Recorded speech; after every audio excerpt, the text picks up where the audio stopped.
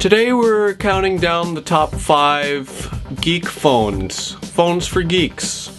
Um, we're looking at advanced hardware, we're looking at intricate interfaces, and we're looking at high processing speeds as well as unconventional architecture and designs that were crafted from outside the box. First off, we'll start with the business powerhouse, and that is the Motorola Droid Pro. And this list of specs just makes me tingly all over. We have a BlackBerry-like keyboard, but a larger screen.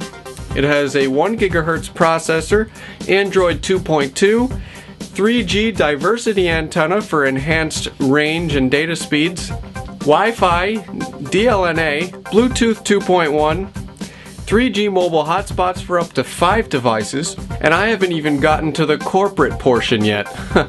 it's got corporate Gmail, Google Apps for Business, VPN client, SD card encryption, and corporate directory lookup. The Motorola Droid Pro is definitely for the business professional. Moving on to number four, this phone doesn't have as many nifty features, but it does excel in the architecture department. The BlackBerry Style is a phone that flips out and reveals a full QWERTY keyboard.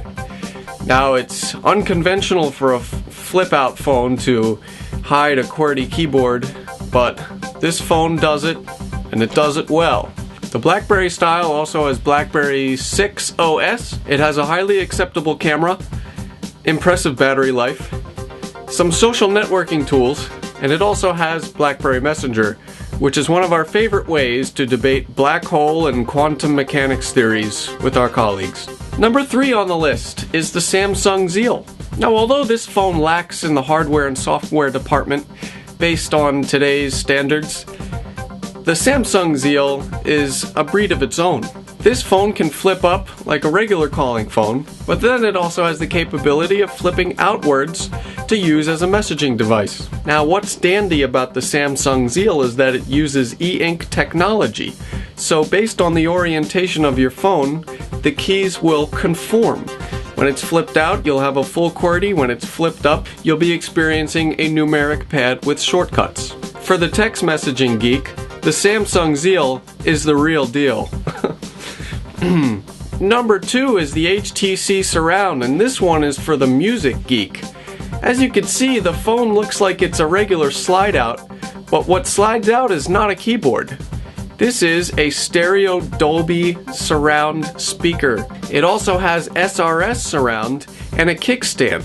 So you can set this little guy up on a table like an old Panasonic Ghetto Blaster and get down with your bad self.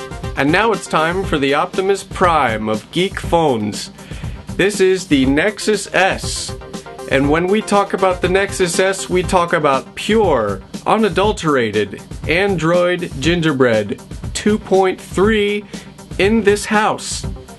If you have a fever and the only prescription is pure Android gingerbread, then this is the phone to get. It has a 1 gigahertz Hummingbird processor with 512 megabytes of RAM, and the battery life spans for days. The reason is, this phone is not bogged down by tons of preloaded applications or widgets. You go to the market and you fetch it yourself.